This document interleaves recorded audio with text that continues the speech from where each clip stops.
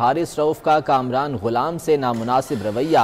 Haris Rauf social media पर तनकीद की जद में आ गए। हारिस रऊफ के पहले ओवर में कामरान गुलाम से हजरतुल्ला जाजई का कैच ड्रॉप हुआ। इसी ओवर में दो बॉल्स के बाद हारिस रऊफ की बॉल पर मोहम्मद हारिस कैच आउट हो गए।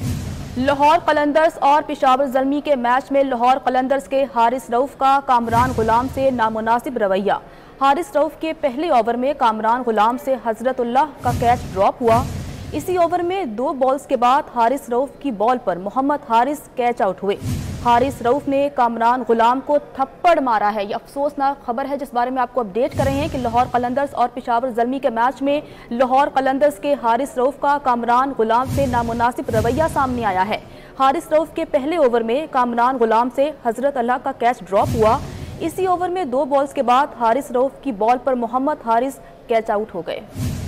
विकेट सेलिब्रेशन के दौरान कामरान गुलाम हारिस रऊफ को मुबारकबाद देने आए। हारिस रऊफ ने कामरान गुलाम को थप्पड़ मार दिया। लाहौर कलंदर्स और पेशावर, जलमी का ये मैच जारी है। जिस दौरान ये वाक़ देखा गया है कि जब विकेट सेलिब्रेशन के दौरान कामरान गुलाम हारिस रऊफ को मुबारकबाद देने के लिए आए, लेकिन हारिस रऊफ ने कामरान गुलाम को थप्पड़ जड़ दिया। हारिस रऊफ के पहले ओवर में कामरान गुलाम ने हजरतुल्ला जजई का कैच ड्रॉप किया था। इसी ओवर में दो बॉल्स के बाद हारिस रऊफ की बॉल पर मोहम्मद हारिस कैच आउट हो गए, जिस पर यह नामुनासिब रवैया देखने में आया है। कामरान गुलाम के साथ ये नामुनासिब रवैया अपनाया गया और हारिस रऊफ ने कामरान गुलाम को थप्पड़ भी जड़ दिया। पिशावर जलमी और लाहौर कलंदर्स का मैच ये जारी है, जिस दौरान ये वाक़ देखा गया है, नामनासिब रवैया, जिस पर सोशल मीडिया पर भी अब खासी तनकीद की जा रही है, जो क्रिकेट फैंस हैं, क्रिकेट शायक हैं, उनकी जानब से हारिस रऊफ को बड़ी तनकीद का निशाना बनाया जा रहा है।